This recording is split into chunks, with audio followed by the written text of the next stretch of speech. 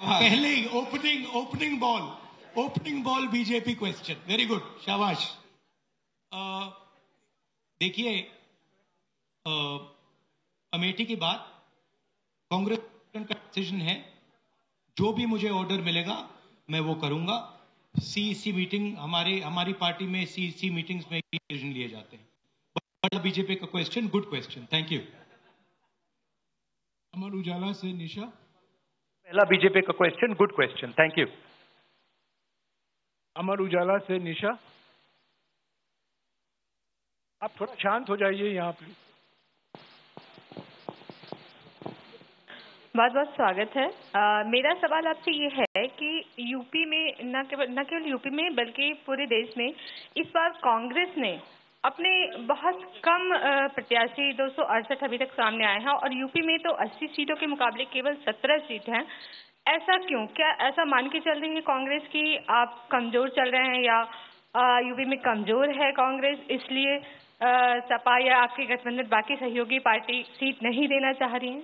नहीं अ, हमने डिसीज़न लिया है कि इंडिया गठबंधन चुनाव लड़ेगा और हमने सीट शेयरिंग की है और ओपन माइंडेड तरीके से दिल खोल के हमने सीट शेयरिंग की है। अ, हम चाहते हैं कि थोड़ी सी हम फ्लेक्सिबिलिटी दिखाएँ और ओपन माइंडेड तरीके से हम चुनाव लड़ें। इसीलिए हमने आ, स्पेस आ, हम अपने पार्टनर्स को दी है। पर इसका कोई कमज़ोरी का मतलब नहीं है। पीटीआई से अनवर?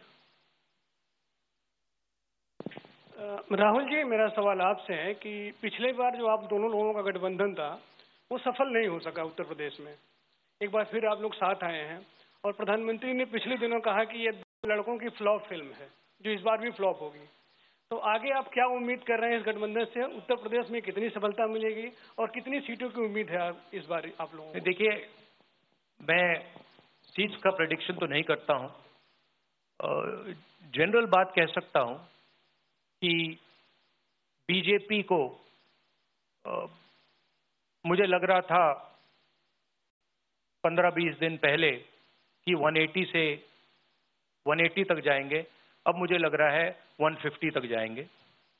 अ, हर स्टेट में हमें रिपोर्ट मिल रही है कि हमारा चुनाव इंप्रूव कर रहा है और अंडर करंट है।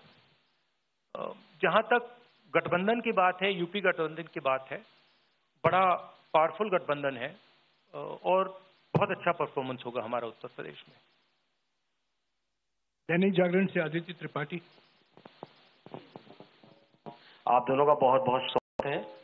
मेरा प्रश्न यह है कि उत्तर प्रदेश में एनडीए गठबंधन रोकने के लिए आपकी क्या रणनीति है? सॉरी क्या? उत्तर प्रदेश में एनडीए गठबंधन को रोकने के लिए आपकी क्या रणनीति आप दोनों लोगों की। उत्तर प्रदेश में नेशनल लेवल पे मैं आपको अपना, हमारा फाउंडेशन बता देता हूँ और वही आइडियाज़ हम उत्तर प्रदेश में भी चलाएँगे। देखिए पिछले दस सालों में नरेंद्र मोदी जी ने नोटबंदी करके, गलत जीएसटी लागू करके और जो बड़े बड़े अरबपति हैं, अदानी जी हैं, उनका पूरा सपोर्ट करके जो रोज़गार पैदा करने का सिस्टम था, उसको उसको उन्होंने कंप्लीटली खत्म कर दिया है। तो सबसे पहला काम, जो रोज़गार हिंदुस्तान के युवाओं को मिलना चाहिए, उसको एक बार फिर स्ट्रेंथन करने का है। उसके लिए हमने अपने मैनिफेस्टो में दो तीन आइडियाज़ दिए हैं। एक आइडिया रेवोल्यूशनरी आइडिया है राइट टू अप्रेंटिसशिप तो जो अमीर घर के बच्चे होते हैं, वो अप्रेंटिसशिप करते हैं ट्रेनिंग मिलती है पेड पेड ट्रेनिंग होती है। तो हमने डिसाइड किया है All right, that is, of course, Rahul Gandhi as well as Akhilesh Yadav addressing the media as far as his joint presser that's concerned. They've, of course, answered questions put forth to them. We'll take you through the key takeaways. But for the moment, let's leave it at that because we're shifting our focus to